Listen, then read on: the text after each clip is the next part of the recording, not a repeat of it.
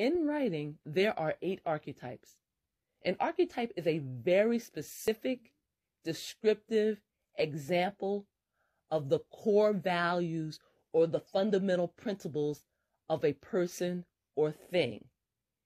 It is that defining trait or characteristic that says who that character is or what that thing is.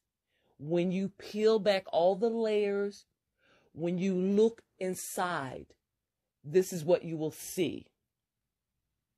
So let me name the eight archetypes the leader, the caregiver, the seducer, the castaway, the professor, the warrior, the rebel, and the wild card. And if you're not familiar with these terms, then let's try something else.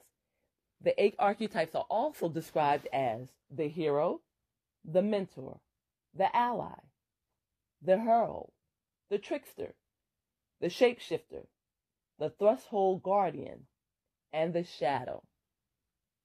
And with each of these archetypes, they have established allies who will help them in their stories, and they have their enemies who will oppose them.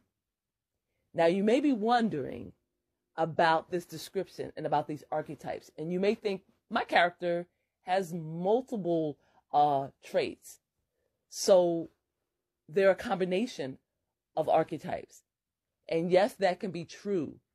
But if you peel them down to their core, or if you look inside to see what they are essentially made of, that one archetype will come out. And I love archetypes because they help you create your character. They give you a foundation on which you can build. I hope this information has been helpful.